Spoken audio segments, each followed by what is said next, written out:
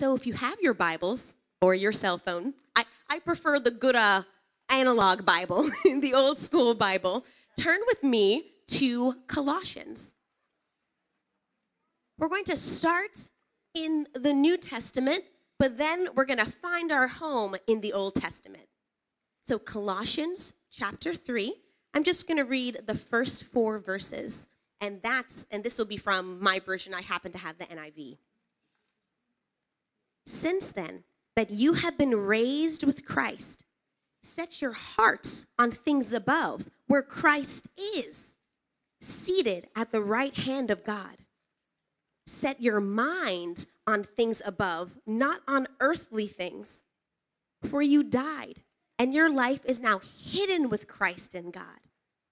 So that when Christ, who is your life, appears, then you also will appear with him in glory. I kind of want to focus on those first two lines. Set your heart on things above, where Christ is seated at the right hand of the Father set your mind on things above, not on earthly things. What I love most about the Bible is I feel like every word is on purpose. You see, when Paul wrote this, he could have just as easily switched those two around. He could have just as easily said, Oh, set your mind on Christ, as in think about Jesus, and set your heart what you want, not on things of the world. But that's not the order that he chose here. Set your heart, that means your longing, your desires, your goal on Christ, what he's done, where he sits now, but also to me, that means to model your desires after those that Christ himself has. And then your mind shift your mind, your attentions away from worldly things. Because did you know? Did you know that you could desire God, have your heart set on God, but your attention elsewhere? In fact, even right now, you you could be listening, but your attentions are elsewhere. You all came to church, or if you're listening to it online, you all switched on a sermon, so your heart is on God. Your intentions might be the right place, but your attentions, your mind could be drifting from the conflict you might have had this morning on the things that you know might be waiting for you as soon as you come home. It's very easy to have one foot in the right place, but the other one drifting. So if you're like me and you like those funny little yoga classes, or those little exercise classes where they make you twist and turn and make all these silly, ridiculous poses. Anytime you have to balance, what is it you hear them say or you've seen them say? Focus on one spot in the room. And that's to help you catch your balance.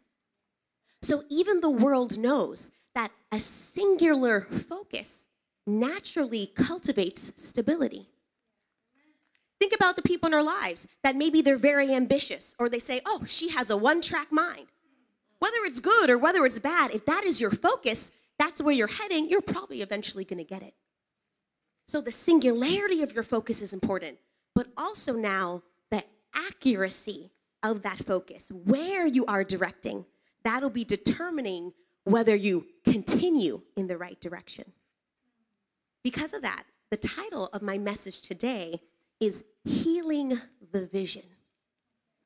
Healing the vision, as in healing the vision we have, whether it's God's plan or destiny for our own lives, whether it's healing the vision as in God's overall design of what his intention is for mankind, or it might even be in an individual situation. How do you align yourself to God's values how He wants you to resolve that particular situation so that you can make the mark, so that you can hit the mark. When you know God's values and you know His intention in a particular situation, it keeps you on target, regardless of the distractions or circumstances or opposition might be in your way. Brother Jerry, you mentioned briefly how sometimes you listen to Z88 and I, I will say there are some great songs of like faith and victory and power, but sometimes we have to acknowledge there are ones coming from this sort of destitute, broken spiritual place. And I'm not mad at the radio station for that, just like I'm not mad when I woke up this morning and the temperature said it was. The thermometer is telling me, but the thermometer is merely a reflection of what's going on around me. There was an artist, and he was giving his personal testimony, and it gave me a little insight what might be going on in those situations. This was a particular man whose son had diabetes, diagnosed ever since he was but a toddler at two years old. And as he's sort of heartbroken and talking about what happens, he was saying, and you know, diabetes doesn't just go away. And he continues to go on and give a testimony. Now, the testimony was powerful in that even if you haven't seen the healing, or even if you haven't seen God act a certain way in your life, you still have to hold on to his character as being good, as being a healer, as being a foundation nonetheless. So I'm not bashing him at all, but I felt something in the way that he said it. It wasn't a diabetes doesn't, doesn't just go away from a place of maturity. He said it from a place of pain you could kind of hear in his voice, yep, when he was two or three, we prayed. We prayed for three, four, five years. And now, somewhere inside of him, he no longer thinks it is God's will to heal his child. You see, that's a little bit of a different situation. Now, it's not an evil thing, it's, it's a human thing, it's a coping strategy. When something you know to be true doesn't manifest in your own life, you, you disengage from it in a certain way. So in this case, because the healer, the great God he sings about, he feels maybe wasn't present in that way, he lowered his expectation of God so that he wouldn't be disappointed. I want to give you a, an opposite situation. I was watching a man, his name is uh, Daniel Kolenda. He, his mentor was some great African preacher, some, some white guy who spent his whole life in Africa, healing and preaching, I don't remember his name, uh, doing revivals. And this man had hundreds and hundreds and hundreds of documented miracles all throughout the continent of Africa. Daniel Kolenda was in an interview and he was explain he was retelling a conversation he had with his mentor. Let's call the mentor Rob. Rob, how are you able to have these miracles? How can you pray and keep up your confidence when, for just as many people you see healed, you see hundreds walking away not healed? And this is what the mentor told him. He said, If you pray for 10 men and not one of them was healed, when you pray for that 11th man, you pray with the same vigor and intensity as if all 10 other men walked up and received their healing. And it is that mentality that allowed him to press in and obtain that healing that he was seeking when you don't lose that momentum. So, although my title today is Healing the Vision, my theme is sensing and obtaining our destinies. Now we're going to go ahead and get parked over in Second Kings. Second Kings chapter 6 is where the bulk of uh, my story is going to come from. We're going to use a biblical example and pull out some maybe relevant illustrations here for our own lives. This is Elisha and his servant this is a time when, uh, I'll even start. So, Second Kings chapter 6, I'm going to start from verse 8. And if we can even just have, yeah, just and keep that one there uh, as I continue. Now, the king of Aram was at war with, the, with Israel. And much like any war, he's a strategist. He'd gather his various officials. They'll make plans saying, okay, on such and such a day, we will move our camp to such and such a place. Normal warlike strategies, right?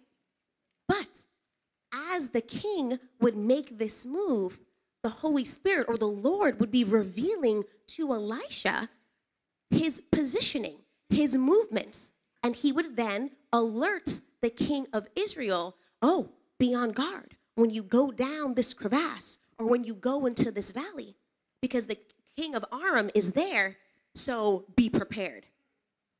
This happened once, this happened twice, this happened three times. The Bible isn't specific for the number of instances this little intervention occurred, but it happened so many times that the king of Aram, in his rage, got frustrated and said to his officials, So, which one of you is working for the king of Israel? It was so bad, and Elisha's uh, information was so accurate and so spot on that the king himself thought there was a mole in his organization. Verse 12 None of us, my lord the king, said one of his officers, but Elisha, the prophet who was in Israel, tells the king of Israel the very words you speak in your bedroom. I don't know if that was an exaggeration, but you know what that jokingly kind of reminds me? Well, then one of those op- op- officials must be talking to Israelites, because otherwise, how does he know the gossip? so, at the very least, the word of what Elisha was doing was so astounding that the gossip was getting around how the secret movements of the Arameans was getting out. So now, verse 13 go, find out where he is, the king ordered, so I can send men, men and capture him. Quick pause. This isn't, isn't even a part of my message, but isn't it funny how the devil just changed his strategy right there? First, he wants to impoverish the Israelites, so they're trying to ambush and send raids against Israel. And soon as they discover where the source of information is coming from, they shift strategies to capture the watchman. So, as a little bonus track, there are many times that we are the watchmen over the lives and situations uh, in, in our lives and our, in our loved ones. Do not be discouraged if it seems like the enemy shifts his focus towards you. And there's a lot of ways the enemy can capture the watchman that doesn't involve surrounding your town with an army. If you're someone and you are waiting for your own personal healing or you're waiting on your own breakthrough, he can capture the watchman simply by planting the doubt oh, God can do it, but obviously he isn't. Obviously, he's not willing. And then it neutralizes that influence in the moment. That's a bonus note. That's not even what we're going on. So, but just tuck that in, tuck that into your back pocket. Go and find out where he is, the king ordered, verse 13, so I can send men to capture him. In short, when they discovered the city where the prophet was living, they, ditch, they dispatched soldiers and army and a portion of their army, and in the night they surrounded the entire city. You see, they weren't gonna, they weren't gonna, they're playing it safe. They weren't going to try to find just the one place or investigate. They're surrounding the whole city. They're going to take everything that's involved and make trouble and try to, to extinguish the mouth, the word of God coming forth from this place. They went by night and surrounded the city. When the servant of the man of God got up and went out early the next morning, an army of horses and chariots had surrounded the city. He said, Oh, my Lord, what shall we do? Don't be afraid, the prophet answered. Those who are with us are more than those who are with them. And verse 17, and Elisha prayed, O Lord, open his eyes so that he may see. I mentioned that we're going to be talking about healing the vision, why we need God to restore our sense, our bird's eye perspective of what's going on. And the first reason is we need God to heal our vision because that extinguishes fear. Now, think about it. When Elisha prayed to open the servant's eyes, and now the servant saw these chariots of fire, did that activate these angelic forces that were there? It didn't bring the angelic forces there, they were already there. The only thing Elisha's prayer to open his eyes did was increase his awareness of the resources that were already present. So much like our own lives, whether or not we see God's upper hand in the situation, He still has sovereignty and He still has support in that situation so that there can be victory, right? But oftentimes we don't see it. So, what does that fear do to us? And we've all been afraid. We've all dealt with something that we felt was just a little bit bigger than we could chew. How do we respond? Maybe the fear causes us to be inactive. I maybe I would have said something to defend myself or defend my faith, but I don't really know if people are going to like it. I don't really know if there's going to be repercussions, so I stay silent. I'm inactive. Or if you're not inactive, maybe you might be underactive. You don't quite say what you would have said under a different circumstance. And if you're not underactive, maybe you might be overactive. So you see how fear distorts your direction? The fear doesn't change your circumstance. The fear doesn't change God's intention or his provision. It, it just influences our response to it. With inaction, he causes you to take no and you just take no move and you see no results. In underaction, you see less results or less blessing than you originally thought was what God really intended for that situation. And in an overreaction, he's, the enemy just got a way to divert your energy in a whole different direction. Gehazi is a great example. Gehazi is what, eh, from previous chapters, the name of that servant is. A great example of someone whose heart might have been set on God, but whose mind was on the circumstances. Priscilla Shirer has many uh, sermons about dealing with fear and interacting with uh, interacting with the enemy from a place of victory, from a place of knowing that your God is already there, and that being your stability. Now we all know uh, in 2 Timothy 1:17, we know that God has not given us a spirit of fear, but of power, love, and a sound mind. And I'll, I'll describe another day, maybe on one of the, the deeper life inspirational moments, what I think that power, love, and a sound mind really is. But she said something very clever. She said, if you enter a situation and you sense some sort of fear welling up in you, and you know that the Word of God says that the Lord does not give us a spirit of fear, then who is giving that spirit of fear? Right? So God doesn't give us a spirit of fear, but you are feeling fear entering a situation, you know by process of deduction that it's not from God. And if it's not from God, it's the enemy. Whether it's the enemy or your own mind. Now, if it's not from God and it's the enemy, then he's obviously doing it because he's trying to stop you from doing or saying something. So if the enemy is trying to stop you from doing or saying something in that situation, that means there must be something in that situation that is good for you, something that God wants you to do and accomplish. You see, if you pull apart, pull apart the layers, if you can discern the true source of fear, you could also discern the true purpose of that fear. So much like uh, Elisha, we pray, ah, oh, Lord, open our eyes so that this emotional reaction that is not from you doesn't change the course of my direction.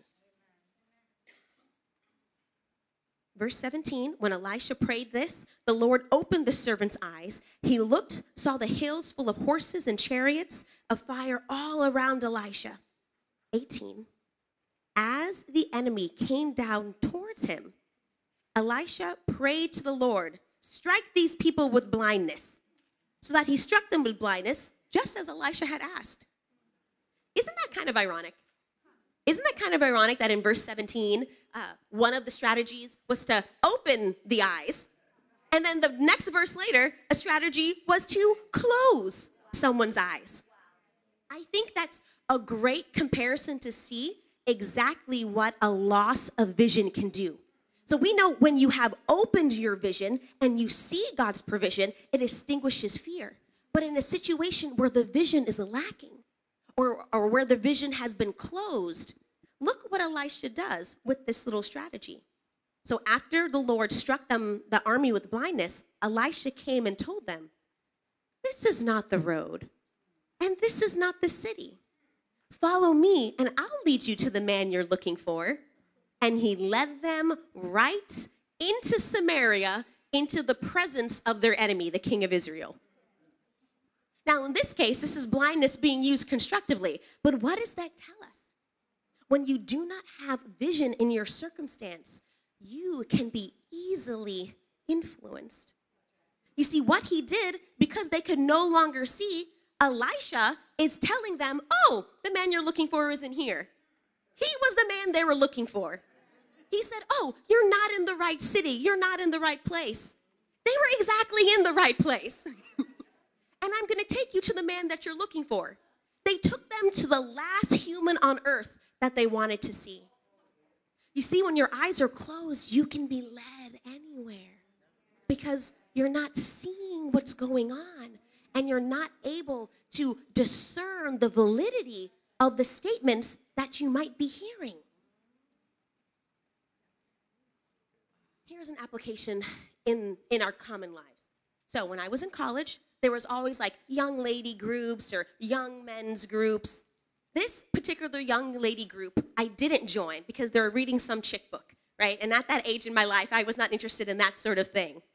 However, I did learn from the other girls who did read this book. I believe it was called Captivating, and there's a, a version for guys called Wild at Heart. But in the Captivating book, it's giving women strategies how to sort of fortify themselves and achieve their godly purpose on earth without being pulled aside by, by temptation. So they have one particular situation about, you know, resisting sexual sin and sexual immorality. And this might seem really practical, but one of the advice that they gave in that book, it gives the girls, is that you need to have a vision for your future, for your future spouse, for your future marriage, and have a good understanding of what a godly relationship is supposed to look like. So that when there are other counterfeits or almost as goods pulling and buying for your time and attention, you don't get caught into it. You see, no one wakes up one morning decides, I'm going to grow up and be a homeless man. You know, these things that end up hurting us in our life happens one little decision at a time. Because in the moment, it was better than the alternative. So, oh, I'm going to date person A because at least he bathes more than person B. Doesn't really mean person A is going to be a godly husband. Or I'm going to choose job A over job B yes, it's not a really great environment, but the tips are good. Yes, I have to wear kind of a scantily clad outfit, but I can save money for college. A lot of times when you make a decision for a, second best, it's not because you were aiming for second best. It's because at that moment, it was the best thing. It was the lesser of two evils. So, what her advice is in all the different areas of your life, set an objective standard so when anything else comes by that doesn't look like that, you have a frame of reference to decide, no, I'm going to pass. Because you know, every time you say yes to a certain decision, you are simultaneously saying no to every other decision like it.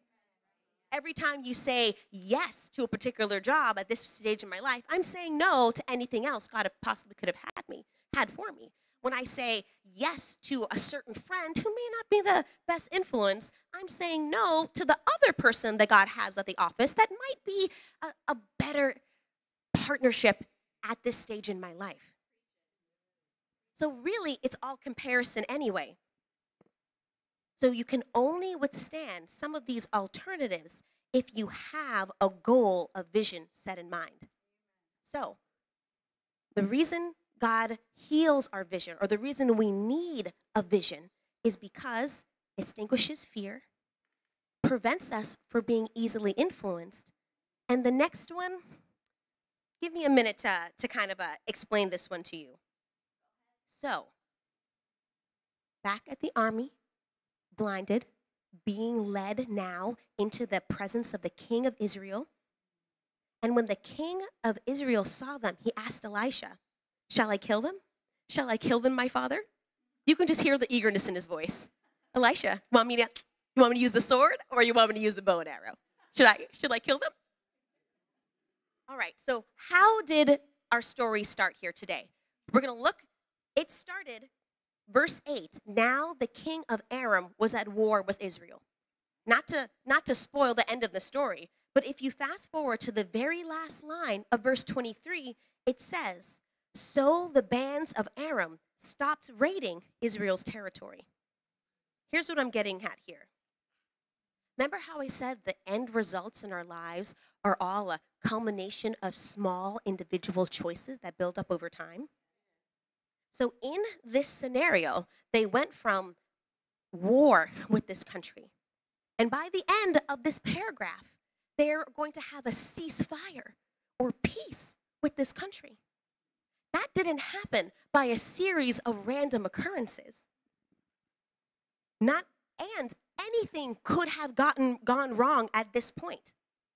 So what I'm trying to say that there's many alternate endings when you live in the world that we do where you have a lifetime of choices to make. And there's many ways that this story could have gone wrong. I'll give you a real quick example. In the same book, Second Kings chapter 1, we see Elijah in a somewhat similar situation. He's being surrounded by a captain and 50 soldiers to bring him in to a, another king that he must have angered in some way, shape, or form. And what Elisha does is send down fire and kill that uh, and kill that entire company of 50 men. Now, if Elisha was thinking the same way or used the same strategy in this exact situation, he could have triggered a full scale war between these rivaling nations. So when God gives you a vision for the end result, which in this case, Elijah's vision for the end was peace with these people, it informs your judgment.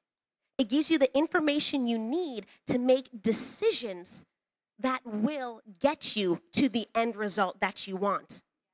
And if you read verse 21 and then 22, what he actually did, it enabled Elisha to act with compassion towards his enemy. In fact, in verse 22, after the king, Shall I kill them, father? Shall I kill them? Elisha responds, Do not kill them. Would you have killed men that you have captured with your own sword and bow? No. Set food and water before them so they can eat and drink and go back to their master as the situation unfolds, the king did just that, prepared a great feast for them. And after eating and drinking, they went back to that same king of Aram who was ready to punish his own officials, thinking that there was a mole. And no more did they ever come back, well, no more did they come back into that land to raid the Israelites. You see, when we have a vision of what I like to think is sometimes you have to take a short term loss to get a long term win. How impressive would it have been for the king of Israel to say, I have killed, conquered all of these men. My citizens, you are safe with me. Look at what we're able to accomplish. But if you had killed these men, what would have happened? They just would have sent more. In fact, in the story where Elijah, his mentor, kills the, the 50, the commander and the company of 50 men, he just sends another one. So he had to send fire down a second time. And then the king just sent another one. You see, we all know the verse about, oh, we wrestle not against flesh and blood, but against principalities. But sometimes we don't seem to grasp that fighting flesh, God says that because fighting flesh doesn't actually solve the problem. If fighting your flesh solved the problem, then when Cain killed Abel, he would have been happy. He would have gotten the end, would have gotten the end result he wanted. I killed Abel. Now I'm God's favorite. Now he enjoys my sacrifices and everything is fine and dandy. But that's not what happened. Think of it this way not to be gruesome, but imagine there's some sort of serial killer, you know, popping around all the different states in the United States and the police corner what they think is a suspect and detain that suspect, maybe even put him to jail, maybe even execute him. But if he was not the one committing the crime, the crimes will continue. You see, that's one of the main reasons God lets us know not only is there a spiritual battle underneath, but there's no point. There is no uh, fruitfulness. There is no benefit in attacking your brother and sister, even if it's coming through them, because they are not the source. The enemy, after you crush this person or hurt this person, will just manifest the same problem somewhere else. But you have to have the vision to see that, to be able to know when to pull your punches. Pastor Marr gave this example back when we were younger, and I don't remember the context of the entire sermon, but he was trying to illustrate this point to us how the enemy will use your brother to condemn you or, or, say, or to challenge you or to say something that really gets under your skin. And you may resist, resist, resist, but when you finally break, and you swing out to punch the enemy, the enemy ducks and you punch your brother. So, fighting in the flesh doesn't stop the problem, it only hurts another person. So here's a here's another kind of a kind of shocking thought. Remember how I said Elijah when in a similar situation? He called down fire to, to burn up all the commanders, did it once, did it twice. Well, a little bit before then, Ahab was king. Ahab, this wicked man, would call Eli- had the nerve to tell Elijah, "Oh, you troubler of Israel." That was one of his phrases. Whenever there was an issue, "Oh, Elijah, troubler of Israel." Us as Christians, reading the Bible with our perspective, it's funny to us because we know that it is Ahab troubling Israel. We know it is the wickedness of Ahab causing the blight and the plague and the, and the famine at that time. But he's blaming the man of God. Now, making my point here, how the things we do only hurts our brother. Imagine now you were the wife and children of one of those captains, one of those commanders. And your mother might tell you, Oh, I know Ahab says it's Elijah's fault, but that's not true. You know, the king we have is wicked, and Elijah's a good man of God, and you need to follow him. But then they wheel in the burnt, crispy body of your, of your husband. It might be really hard for that child to connect the pain that they've now influenced, they've now felt in this situation with the ultimate fault, the ultimate cause. Yes, it was the king's fault for doing it, but he's now connecting this pain with Elijah. So, why the Lord tells us not to fight against flesh and blood? Not only does it not solve the problem, not only does it hurt your brother, but you might inadvertently make the enemy's claim, the enemy's deception or lie about us or you more credible when you do that. What I say all the time don't play into Satan's hands. Just like what Priscilla Shirer said, if you can identify the source of something and you know that source is not of God, go in the opposite direction that is telling you. If the end result is hurting a, a fellow person, uh, even if they're not, even more so if it's another child of God, because God contends with you when you hurt his children, but we know that as Christians in a lost world, we are always striving to be winsome because we have souls on the line. Think of the ambassadors right now in war torn areas, whether it's Ukraine or whether it's the Middle East. They have ambassadors discussing amongst themselves, but you can be sure they are walking on eggshells. They are careful because they know the gravity of their words. They have a lot on the line who has even more on the line than us who understands even if I win this fight, but I push this person a little bit farther from God, I just help the enemy rather than my father. We have even more. We can understand that that person has even more to risk, has even more to lose. And when you have that little compassion, then, like Paul, we'll be able to say, I become all things to all men, so that by any means I might win some.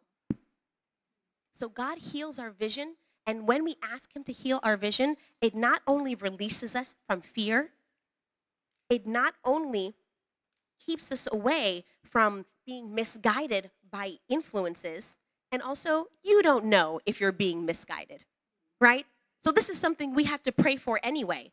Because if you already knew it was a bad decision when you started following that college friend or that buddy to that place, you were not deceived. You chose to do that. That's a whole different prayer. but again, we still pray for the Lord to clarify our vision because then it's also easier now to judge, to make a good judgment, and we're willing to take a short term loss, to be compassionate and negotiate a long term win. And the very last reason we need to clarify the vision in any situation, whether this is a fight on the job. I'll give you a, a quick, quick example. I started a new job, this was about a year or so ago. I usually love new jobs and new places. I'm, I'm, I'm an introvert, but I'm still social. I love meeting people. I tend to make an okay first impression. This was the, probably one of the few times in my life that I met a group of people and they were not interested in me at all. Didn't want to talk, didn't want to teach me anything, didn't want to hear my opinions, didn't want to hear how I, even if I was trying to help them, they were not, not at all concerned. It got so bad that over the next two months, they would find ways to sabotage or to insult or to cut me down, even right in front of patients.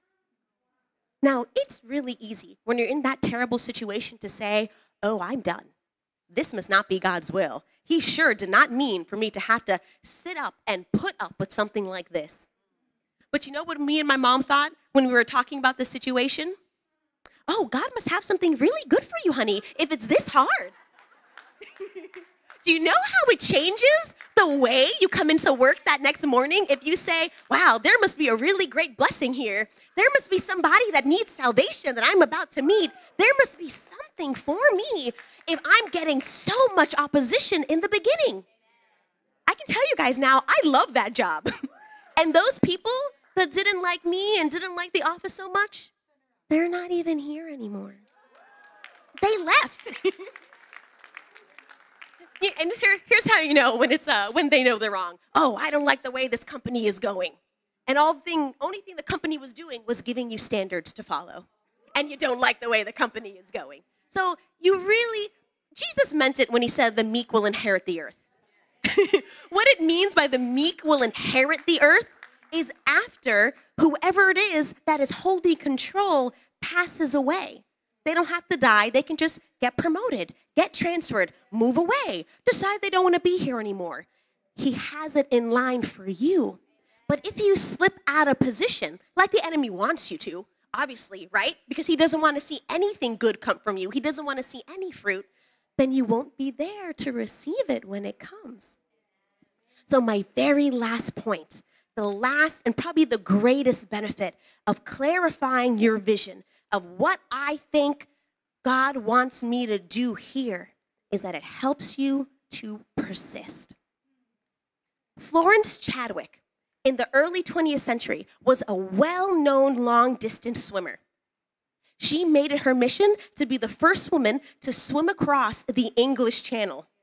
The first time she tried to do so, she had trained for weeks, if not months, got into the water, one mile, two mile, she went a total, and I think the total is like 26 or 27 miles of swimming. At some point in her journey, starts to get dark. A thick fog descended over the water. And I don't know if it was a mix of exhaustion or fear or disorientation. She said she couldn't continue, so that a rescue boat came and picked her up. Much to her shock and shame when it pulled into the shoreline, she was one mile away from the other side. You see, right when the fog and the wind and the waves descend the hardest in your life, you might just be one mile away from this long distance swim that you have been working on your entire life. That's when the devil will try the hardest to derail you. But the story of Florence Chadwick did not end there. on her second attempt, she comes out the same fog, the same wind, the same exhaustion. But she kept the image of the end in mind. That's like us knowing what God intends for you in your job, in any of your relationships, to help you keep the circumstances in perspective. She anticipated the fog, much like we have to anticipate enemy activity when we're doing something godly. But if the enemy is, but knowing that if the enemy is obscuring something in your path, there must be something good in there for you. Therefore, it's something worth fighting for. In fact, if the enemy doesn't want you to have it, it should absolutely be the thing that you want to do. And you need to decide in your mind to fight or do what is necessary to obtain that thing. Florence Chadwick persisted through her fear her fears of failure, her fear of drowning, her fear of disappointing all of her trainers. She persisted through the wind and the waves, trying to misguide her when she could not see. She persisted to the fog that tried to disorient her judgment. And Florence Chadwick was willing to suffer through short term losses and pain for a long term victory. Chadwick made it across the channel that second time she attempted it. She was the first woman to ever do so, and in doing so, set the world record for fastest time. And then you know what? After doing that, she turned right back around, swam the 26 miles back across the channel, and broke the world record for the second time. You see how it changes when you can clarify your vision. So I'd like to pray for you guys. Much like Elisha, oh Lord God, Heavenly Father, open our eyes so that we may see. Help us to see past our circumstance. Help us to see past the conflicts with loved ones and family and get to the root issue, Lord God. Strengthen our discernment and our judgment as to what to say and do to build up your kingdom rather than inadvertently play into the enemy's hand, Lord God and help us to endure when you have shown us it is something worthwhile, that it is something good, Lord God. Teach us to hold our punches, to resist attacking or lashing out or being impatient, so that we may not hurt our brother or prove one of the enemy's deceptions wrong. And Lord God, Heavenly Father, give us that joy in knowing that all the seeds we have planted and all the effort we are investing is accomplishing something, not just in your heavenly kingdom, Lord God, but even right here now on earth, Father God. In Jesus' name we pray. Amen.